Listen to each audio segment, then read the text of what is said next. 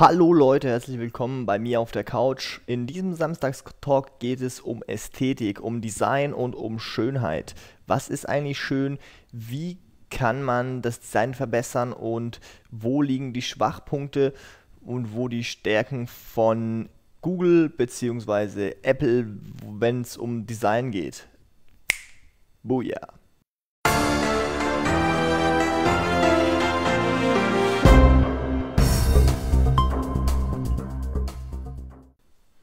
Ja, wir sind heute in einer Zeit angekommen, in der Design immer wichtiger wird, in der Ästhetik immer wichtiger wird, in der immer wichtiger wird, wie eine gewisse Sache ausschaut oder wie sie sich nach außen präsentiert. Und hier muss man tatsächlich mal Apple wirklich loben und man muss sagen, Apple hat den Dreh raus. Apple weiß, wie es geht. Apple hat eine Ahnung, wie was ausschauen muss, wie was designt werden muss, wie die Linien gehalten werden müssen bei einem Gerät, damit sich das auch super verkauft und damit das wirklich auch super schön ausschaut. Weil man kann nicht sagen, dass, wenn man etwas über Apple nicht sagen kann, dann ist es, dass sie unschöne Geräte machen. Sie machen super schöne Geräte und das ist einfach mal eine Tatsache.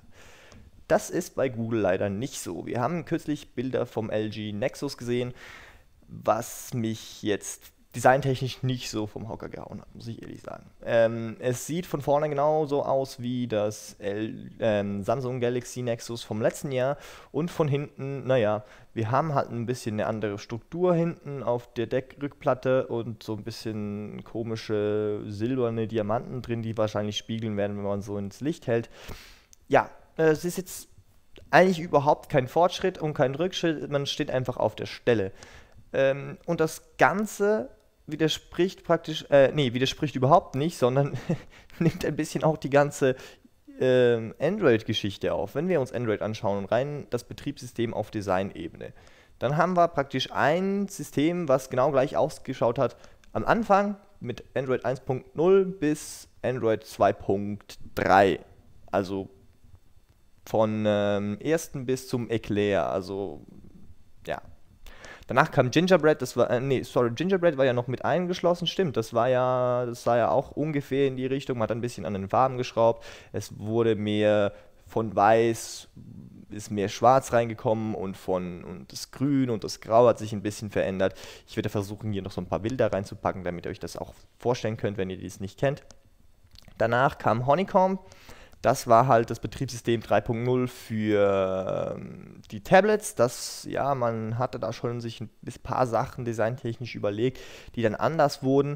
Und mit Android 4.0 kam dann die Holo-Oberfläche auf das Android-Betriebssystem, welches jetzt tatsächlich auf einer, auf einer Ebene ist, wo man sagen kann, okay, das sieht gut aus. Man muss ehrlich zugeben, Android 4.0 sieht wirklich auch designtechnisch gut aus. Das ist wirklich ein schönes Design für ein Betriebssystem.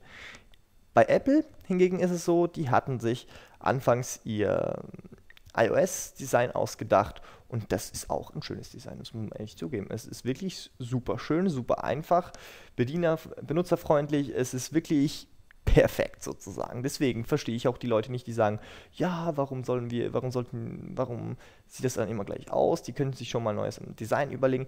Ich finde, die müssen das gar nicht. Ich finde das Design von einem Apple Gerät, also vom iOS, ist wirklich ein schönes Design. Das rein softwaretechnisch ist es ein super schönes Design, super einfach.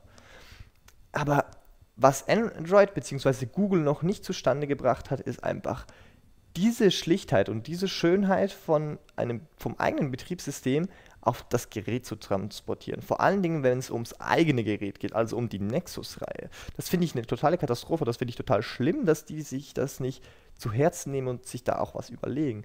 Wenn man sich überlegt, die haben ein Betriebssystem, was wirklich super ausschaut, jetzt mittlerweile. Es hat lange gedauert, man muss, das muss man zugeben. Es hat lange gedauert, bis Google mit ihrem Android-Betriebssystem zu einem Punkt kam, wo man sagen kann, okay, das Design ist wirklich schön und funktioniert in sich.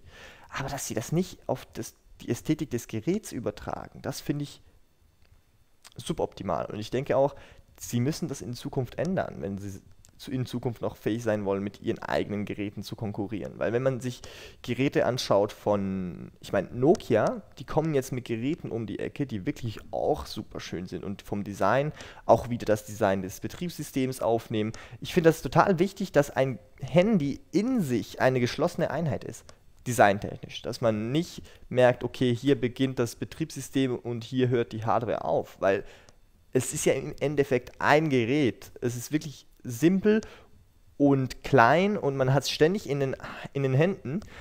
Von daher muss das Design der Software auf das Design der Hardware abgestimmt sein und umgekehrt. Das muss in sich funktionieren als eine Einheit. Man kann nicht mehr kommen und sagen, oh so, ich habe jetzt hier mein Gerät und hier habe ich meine Hardware, dann packe ich die da drauf und gut ist. Das funktioniert einfach nicht mehr heutzutage. Ich verstehe, dass es bei Android schwieriger ist, da man 50 verschiedene Hersteller hat, die 50 verschiedene Designstudien machen, die 50 verschiedene Geräte am Endeffekt auf den Markt bringen, auf denen dann all, bei allen dasselbe Betriebssystem läuft eigen, also die Hersteller arbeiten dem ja entgegen, indem sie Android ihre eigene Oberfläche verpassen. Wir sehen das bei ähm, Samsung mit dem TouchWiz, wir sehen das bei HTC mit der Sense-Oberfläche. Wir, sehen das, wir haben das bei Motorola gesehen mit der Motoblur-Oberfläche.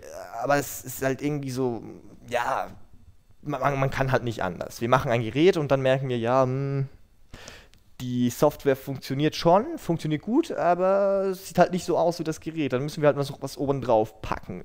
Also so eine Art, keine Ahnung, eine Verpackung drum machen, damit es besser ausschaut. Aber das ist halt nicht das Ziel des Ganzen. Das ist, ich komme hier wieder auf den Punkt zurück, den ich im letzten Samstagstalk angesprochen hatte, dass die Hersteller der Software vermehrt mit den Herstellern der Hardware zusammenarbeiten müssen. Und das nicht nur, damit Updates schneller rauskommen und nicht nur damit das System besser in sich funktioniert, rein, rein funktionstechnisch, sondern auch, dass das Ganze designtechnisch funktioniert, dass man sagt, okay, das ist das Betriebssystem, das benutzt ihr und schaut gefälligst, dass eure Geräte auf das Betriebssystem abgestimmt sind, dass, damit sich da eine Einheit bildet.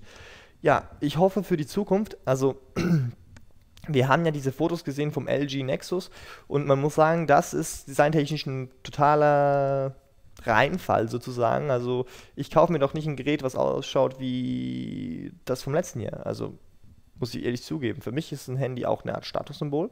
Und ich denke, da stehe ich nicht alleine da. Ich sage es einfach nur öffentlich. Für mich ist ein Handy wichtig. Ich, äh, ich mag es, wenn Leute mich auf mein Handy ansprechen und sagen, oh, cool, ey, Samsung Galaxy S3, das ist ein cooles Handy und so. Das finde ich cool.